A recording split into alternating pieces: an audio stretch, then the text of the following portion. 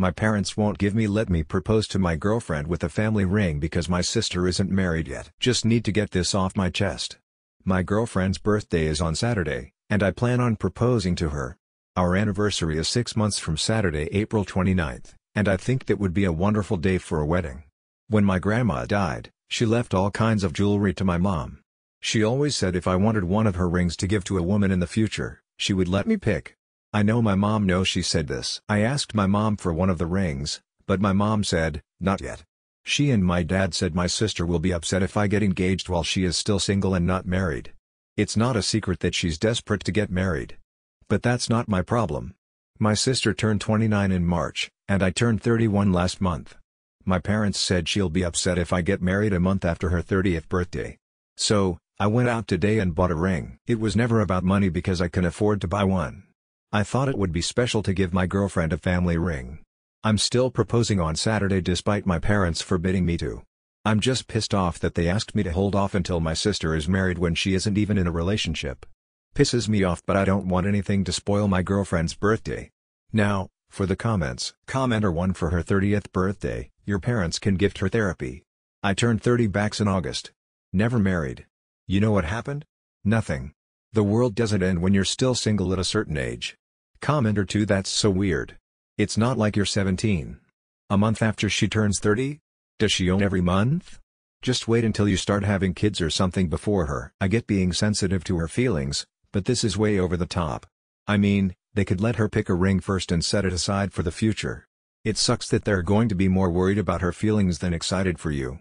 Then they'll wonder why you always spend holidays at the in-laws update I proposed on Saturday like I originally planned to. I proposed with the ring I bought after my parents denied me one of my grandmother's rings. As I said in my original post it wasn't about money. I could afford to buy a ring. It was about being sentimental because my grandmother always told me I could have one of her rings. I didn't do anything elaborate or public. I proposed over breakfast, and she said yes. She called it the best birthday gift she's ever gotten. She had the same idea as me and had suggested we get married on April 29th, our third anniversary, before I even brought it up. So that's what we are doing. We both agreed we don't anything huge or expensive so we're going to keep it small. It's 1.15 p.m. now, about 28 hours since I proposed. When we announced the news, my sister was upset just like I knew she would be, and my parents were mad I didn't listen to them. I'm 31 and don't rely on my parents for money. I told my parents and sister if they are unhappy, they can skip the wedding. It would suck if I didn't have any family there, but I also don't want them to spoil this. I wasn't going to tell my fiancé what went down but I did once my sister started melting down so she wouldn't be blindsided by any of it. She assured me she loves the ring and thinks my family is wrong. Her family had the exact opposite reaction as mine and they are all happy for us. So that's it. All is well. My fiancé is currently at work, and it may sound stupid, but I miss her. She told me her coworkers are happy for her and I know mine will be too when I go in later today. Edit I also appreciate all the supportive comments in my last post so thanks for those. Commenter 1 What happens to the ring if you get married before your sister? Would she get to keep the ring? Original poster No because my parents said that if my sister was married, they would have let me pick one of the rings like my grandmother said I could. My parents said that if my sister was married, they would have honored my grandmother's wishes. Out of all her jewelry I would have only gotten one ring and the rest would go to my sister.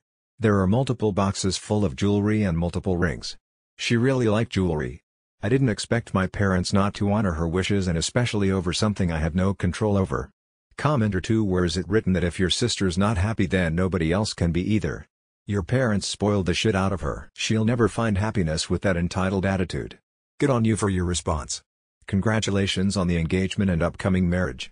Your family can go suck it since you're creating a family of your own.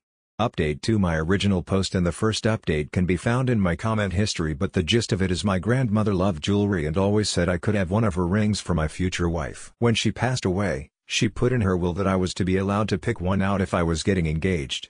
The other hundreds of pieces of jewelry got left to my mom to be eventually passed on to my sister. The rings I was supposed to pick from were not her engagement ring or any of the most expensive jewelry she had. In October of 2022 I asked my mom for a ring because I was going to propose to my then girlfriend of two, five years, but my mom said I could not have one and my dad backed her up. It was because my sister would be upset that I was getting married first. My parents forbid me from proposing. I was 31 years old when this happened, and I live in a different province, So they had no grounds to forbid me from anything. My grandparents on both sides came to Canada from Scotland. There is nothing in either culture that says I am supposed to wait until his younger sister gets married first. I bought a ring and proposed to my wife on her birthday. My parents were angry I didn't listen to them. My sister had an absolute meltdown when she found out about my engagement. I had not told her in advance I was going to propose because I knew she would react badly. Even though she was 29 years old at the time. My wife and I got married six months after I proposed, in April of 2023. It did suck not having any of my own family at my wedding, but I just focused on my wife instead.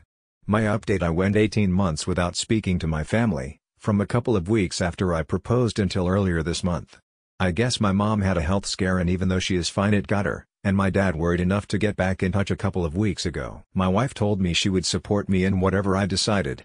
I told my parents we can't go back to the way things were before and I will not let them talk to my wife right now after the way they acted. My wife and I don't want kids but if we did, I would keep my parents away from them too. They were surprised I got married without telling them. I said I'm an adult who doesn't need their permission. We are going to start with occasional emails for now and go from there. My parents said sister is still upset that I'm married and she's not.